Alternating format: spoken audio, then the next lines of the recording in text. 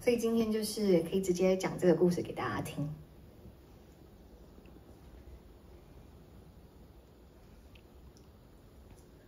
哎，等一下，这个，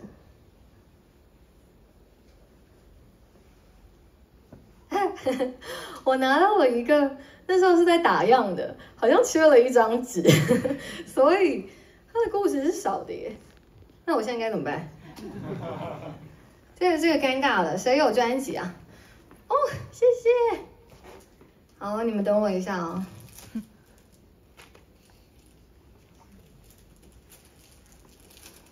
嗯，歌手本人自己就拿打样的，就是很 很省。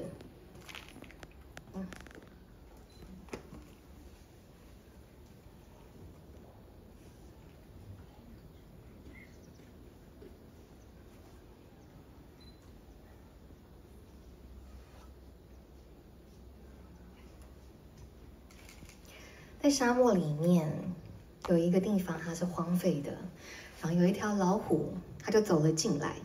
它看着到处都是黄沙，就决定要顺着这个圆形的场子走一圈去找出口。但是夕阳快要下山了，一下子呢，就有一只小小的鱼鸟跑出来，它就是一个鱼跟鸟的化身。那这个小鱼鸟它很开心，它就跟老虎说。哎，你刚刚走完了生命之路，哎，那边有一个小门，你可以从这边走出去喽。生命之路，你是说我死掉了吗？嗯，你可以这样说，可是也不能这样说。这个小鱼鸟不知道在想什么，到底什么意思啊？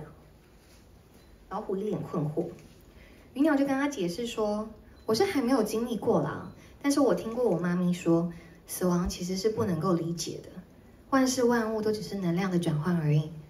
如果这个身体的旅程结束，下一次可以换一个形式存在，那我会变成什么啊？老虎的眼中一下出现欣喜，一下又出现恐惧。应该什么都有可能吧？可能还是老虎，或是人、猫、小虫、沙子。短暂的沉默落下，我有点紧张。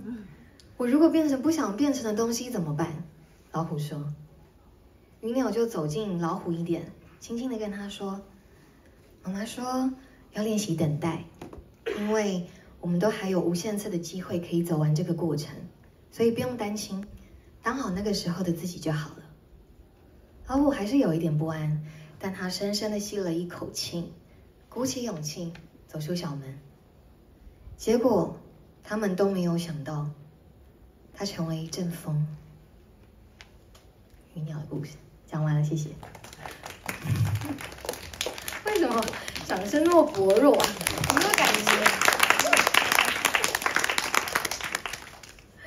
好啦，那很快呢，其实这个发表会就要来到最后一首歌了。然后就要让大家好好的吃饭。